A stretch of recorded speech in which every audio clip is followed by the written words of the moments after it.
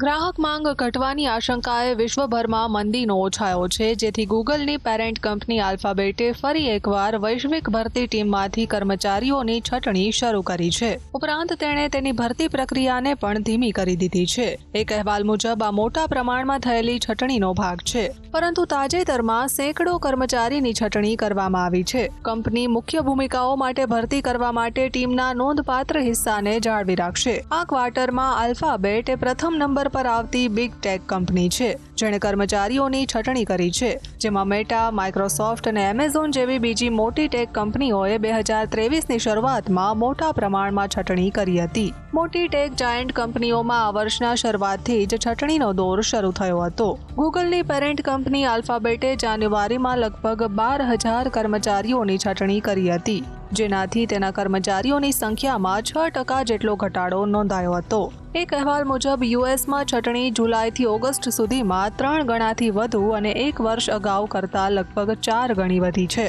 Bureau report, GSTV.